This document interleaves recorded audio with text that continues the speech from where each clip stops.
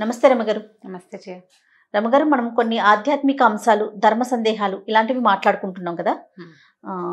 ఇది ఆధ్యాత్మిక విషయం కాకపోయి ఉండొచ్చు బట్ ఒక సందేహం. ఏంటంటే బీరువాలో ఏ వస్తువులు పెట్టుకోవాలి ఏ వస్తువులు పెట్టుకోకూడదు. ఇది ఒకటి. చాలా వరకు నేను ఒక విషయం విన్నాను బీరువా మీద బరువు పెట్టకూడదు అంటారు. అనేది నేను విన్నా. ఇది కరెక్టేనా రమ్మగారు జనరల్గా ఇది వాస్తులోకి వస్తుంది. వాస్తు అంటే పూర్తి వాస్తు కాదు కానీ వాస్తు కొంచెం రిలేటెడ్గా ఉండే. బీరువాలో ఏం పెట్టుకోవాలంటే సాధారణంగా డబ్బులు బంగారం బట్టలు. ఆ, రోజువారీ బీరువా తీయకుండా ఉండే విధానం కూడా మంచిదే. ఈ బట్టలు అవి పెట్టేటప్పుడు ఏం చేస్తాం? పట్టు చీరలు పట్టు బట్టలు బయట కట్టుకెళ్ళే బట్టలు అలాంటివి పెడతాం కదా. దానికి కొంచెం లాకర్లు ఏవో ఏర్పరచుకుంటాం బీరువాలు. జనరల్గా అలా ఉంటాయి కదా. ఒక డ్రావరు ఒక తలుపు తీసి పెట్టుకునేది దానికి లోపల ఇంకో చిన్న సొరుగు అలాంటివి కూడా ఉంచుకుంటాం. వాల్యుబుల్స్ అవి దాచిపెట్టుకోవటానికి అయితే బీరువాలలో ఇనప వస్తువులు పెట్టకూడదు.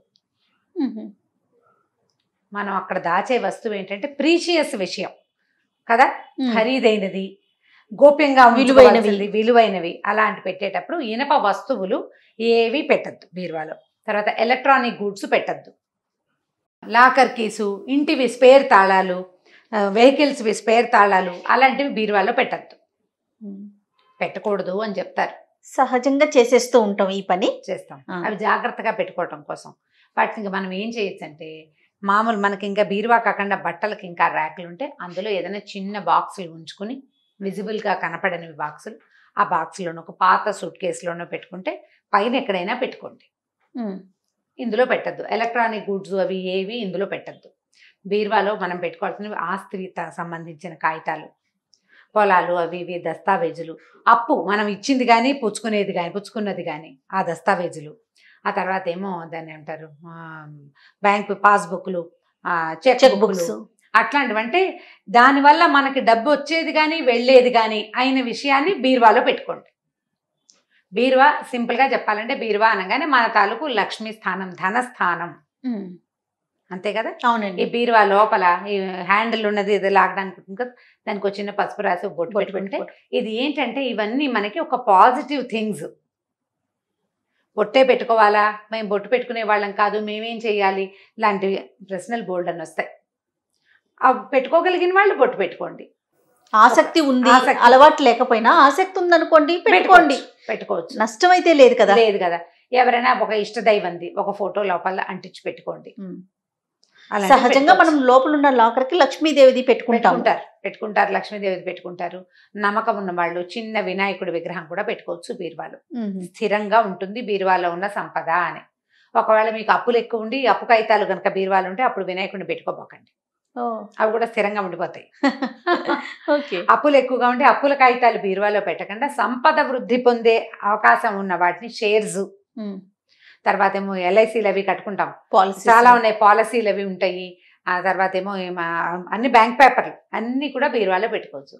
అయితే మనం శ్రద్ధ వహించవలసిన రెండు ప్రధానమైన విషయాలు ఏంటంటే బీరువా మీద బరువులు పెట్టకూడదు అని చెప్తారు. ఇనప వస్తువు పెట్టకూడదు. ఆహా. అట్టపెట్టెలు పెట్టచ్చు. పాత బట్టలు అట్టపెట్టెలు పెట్టబోకండి. ఏదైనా బాక్స్ ఖాళీగా ఉంది కార్టన్ ఆ కార్టన్ ఎత్తి బీరువా మీద పెట్టుకోవచ్చు. కానీ ఐరన్వి వేరే బల్లలు ఏమైనా టేబుల్స్ కుర్చీలు పాడైపోయినవి పాత పడిపోయినవి వాటిని బీరువా మీద ఎక్కించద్దు. పక్క దుప్పట్లు.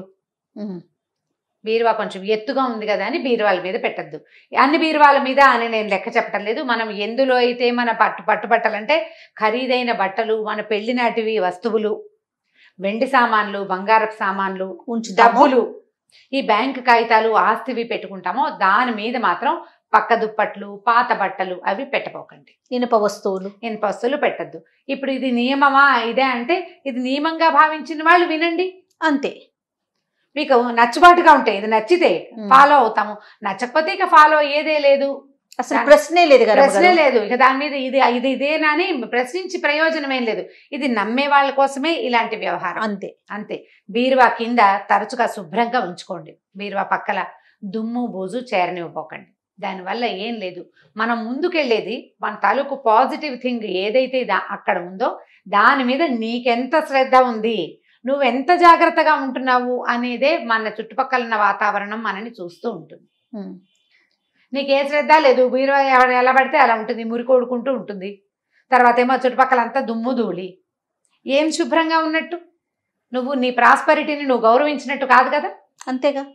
అదే పాయింట్ ఇప్పుడు భగవంతుడా లక్ష్మీదేవా అసలు నారాయణ కాదు. ఆరోగ్యానికి కూడా మంచిది కాదు కదా? ఆరోగ్యానికి మంచిది కాదు అది వేరే విషయం. అయితే మనం ప్రధానమైంది మనం జీవితంలో ముందుకెళ్ళడానికి మనకు అవసరమయ్యే విషయానికి నీకు ఎంత శ్రద్ధ ఉంది దాని మీద నువ్వు ఎంత కేర్ఫుల్గా ఉన్నావు అనేదే కదా చూపిస్తుంది.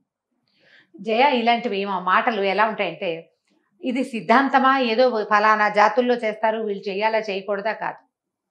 అవునండి. నీకు బీరువా దగ్గర శుభ్రంగా ఉంచే అలవాటు ఉంది. బీరువా చక్కగా సర్ది పెట్టుకుంటావు. అది అక్కడ ఒక చోట ఎందుకు ఉంటుంది? అన్ని చోట్ల ఉంటుంది. నీ ఇల్లంతా శుభ్రంగా ఉంటుంది.